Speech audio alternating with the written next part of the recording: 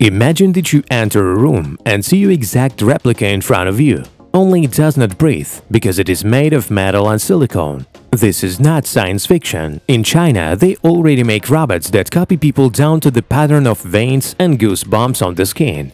See how the world's most realistic humanoid robots are created and what they can do in this issue.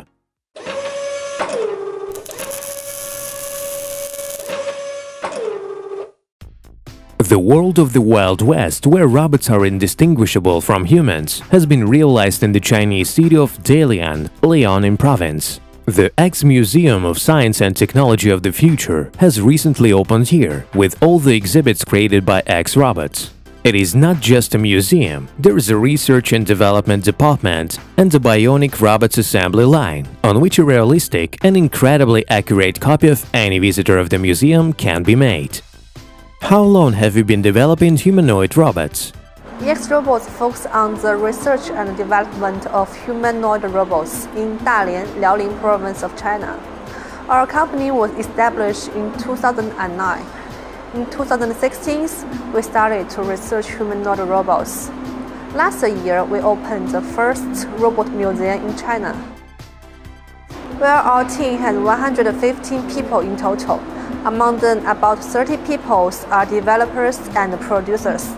EX Robot specializes in the research and development, manufacturing, sales, and service of intelligent bionic humanoid robots. The company's portfolio includes celebrity robots, robot promoters with cute, almost cartoonish looks, and pilot dancing robots to attract customers to bars and clubs. The latter, by the way, is a novelty that should be available soon. Uh, what applications do you see for your robots? Our robots have played a role in many service industries, like new retail exhibition, science explanation, and so on. But more is to business. In the future, we want to go to customers, especially in the field of children education and uh, elderly care. Every robot is unique and designed to be as realistic as possible. To get your robot replica, you have to be scanned with a high-precision 3D scanner. At the same time, it is enough to scan the user's head and arms, because so far the robots have a general universal body, different only by gender.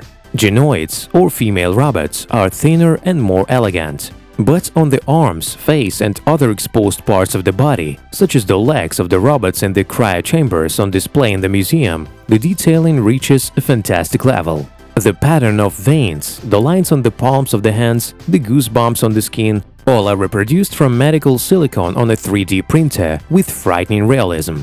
The creators are working to make touching the robots feel like touching a human.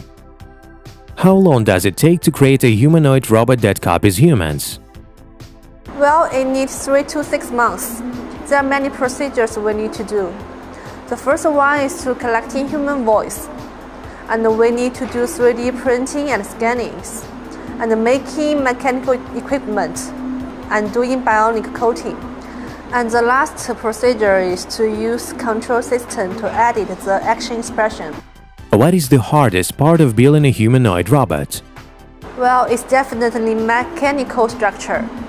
Compared to many industrial robots on the market, our medical equipment is very small, especially female robot. After getting the body shape data, we need to design the internal structure according to the shape. How to put dozens of small equipment in a narrow space is very difficult. And it is also necessary to ensure the movable is as natural and smooth as human beings. Robots can be controlled. Users can use face tracking apps to control the robot's facial expressions or gloves to gesture with their hands. The museum relies on an immersive experience for visitors, awakening their interest in science, robotics, and artificial intelligence, as well as demonstrating possible scenarios for robots from the world of the future. Uh, what did you have to invent from scratch to create these robots? We independently develop humanoid control system which is used to edit the action expression of the robot. Controlling the whole body, about 68 movable joints. The second one is super simulated skin, the medical grade silica gel, where the usual effect or touching feelings is the most realistic to human skin. It's difficult for robots to simulate human posture working perfectly, but it's our goal in the future, and we will also keep hard working to achieve it. What else do robots look like humans, besides their appearance? It's not just appearance, he also has video tracking, which means that even more than one people standing in front of him, he will stare at the object. He has joys and sorrows, and he can spit out the tongue and roll eyes. We plan to establish two robots museums in China this year, and the next five years we are going to establish more robot museums. Also, we will keep researching robots that looks more like human beings. 你轻点儿。嗯，你弄疼我了。 What place will humanoid robots have in the future? There is no doubt that man-machine coexistence is a future that we need to face. Robots can solve problems like human beings, and all walks of life in the world will increasingly rely on automation and robots. Just like mobile phones, I think robots will be popular one day. What breakthroughs in robotics do you expect to see in the near future? Well, we will open the hardware platform to make our robots more intelligent, and we want more people and business to join us, making robots integrate into human life earlier. Do you plan to open similar museums abroad? The purpose of our company is always enrich everyone's life, so that we build the robot museum and let everyone have a chance to close to human robots. It's definitely we will happy to open the museums overseas, but it needs chance and which country work on us. Thanks to EX Robots and Coco for contributing to this issue. Would you like to visit such a museum and make your own robot replica? Subscribe to the channel, like the videos, and don't miss the new releases from the world of high technology.